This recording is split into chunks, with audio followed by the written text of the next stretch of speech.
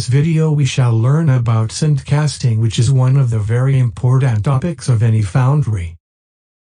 Sand casting. Sand casting is a metal casting process characterized by using sand as the mold material. It is relatively cheap and sufficiently refractory even for steel foundry use. A suitable bonding agent is mixed with the sand. The mixture is moistened with water to develop strength and plasticity of the clay and to make the aggregate suitable for molding. Sand castings are produced in specialized factories called foundries. Over 70% of all metal castings are produced via a sand casting process. Basic steps in making sand castings. The basic steps involved in making sand castings are pattern making, Patterns are required to make molds. The mold is made by packing molding sand around the pattern. The mold is usually made in two parts so that the pattern can be withdrawn. The top half of the mold is called the cope, and the bottom half is called the drag. When the pattern's withdrawn from the molding material, the imprint of the pattern provides the cavity when the mold parts are brought together. The mold cavity, together with any internal cores as required, is ultimately filled with molten metal to form the casting. Core making, if the casting is to be hollow, additional patterns, referred to as core boxes, are needed to shape the sand forms, or cores, that are placed in the mold cavity to form the interior surfaces of the casting. Thus the void between the mold and core eventually becomes the casting. Molding it is the operation necessary to prepare a mold for receiving the molten metal. It consists of ramming sand around the pattern placed in flask, removing the pattern, setting cores in place, and creating the gating feeding system to direct the molten metal into the mold cavity created by the pattern. Melting and pouring. The metal or scrap along with alloying additions is first melted to get the required composition. This molten metal is then poured the molds from transfer ladles. Cleaning. It includes all the operations required to remove the gates and risers that constitute the gating feeding system and to remove the adhering sand, scale, parting fins, and other foreign material that must be removed before the casting is ready for shipment or other processing. Pattern the pattern is the replica of the object to be made by the casting process. The quality of the casting produced depends upon the material of the pattern, its design, and construction. Functions of the pattern prepares a mold cavity for the purpose of making a casting.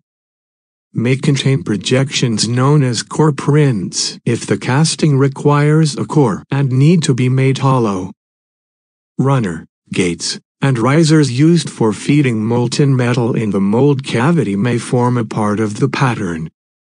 Patterns properly made and having finished and smooth surfaces reduce casting defects.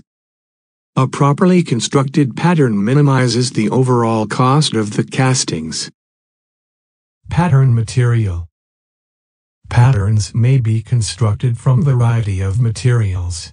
Each material has its own advantages, limitations, application. Some materials used for making patterns are wood, metals and alloys, plastic, plaster of Paris, plastic and rubbers, wax, resins. To be suitable for use, the pattern material should be easily worked, shaped and joined. Light in weight. Strong, hard and durable. Resistant to wear and abrasion. Available at low cost. Binders. There are many types of binders to mix with core sand. A binder should be selected on the basis of the characteristics that are most suitable for your particular use. Some binders require no baking becoming firm at room temperature such as rubber cement, Portland cement and sodium silicate or water glass. In large foundry operations and in some small foundries, sodium silicate is a popular binder as it can be hardened almost instantly by blowing carbon dioxide gas through the mixture.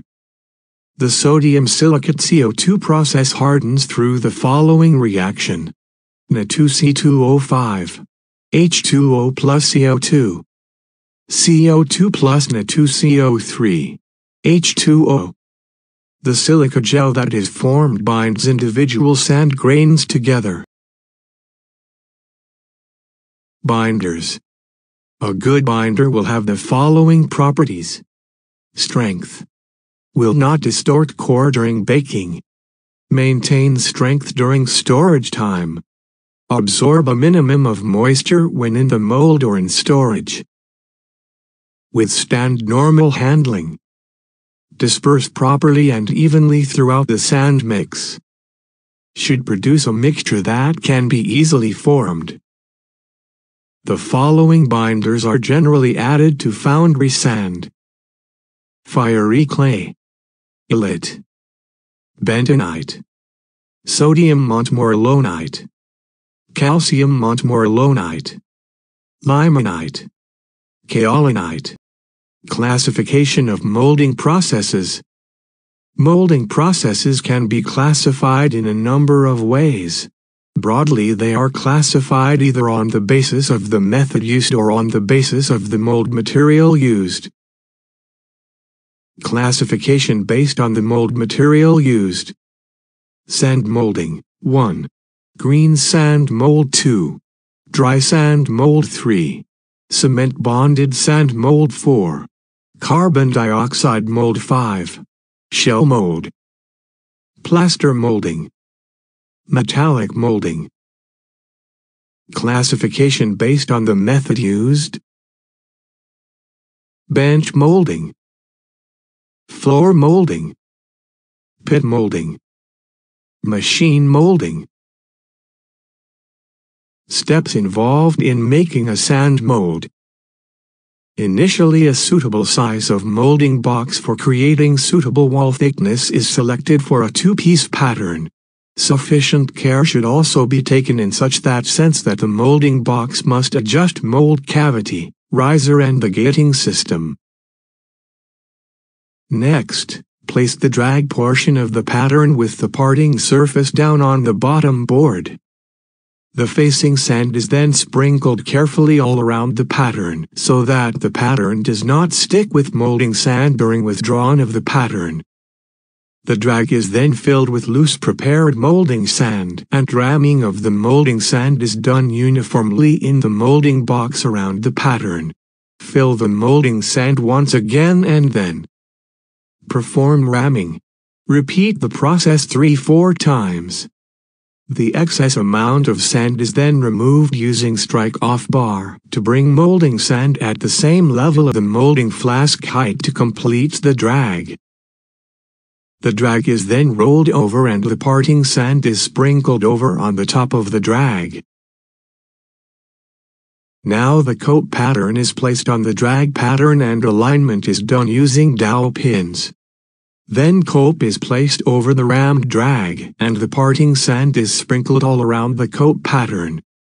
Sprue and riser pins are placed in vertically position at suitable locations using support of molding sand.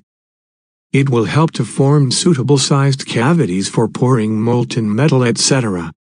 Fill the cope with molding sand and ram uniformly. Strike off the excess sand from the top of the cope. Remove sprue and riser pins and create vent holes in the cope with a vent wire. Sprinkle parting sand over the top of the cope surface and roll over the cope on the bottom board.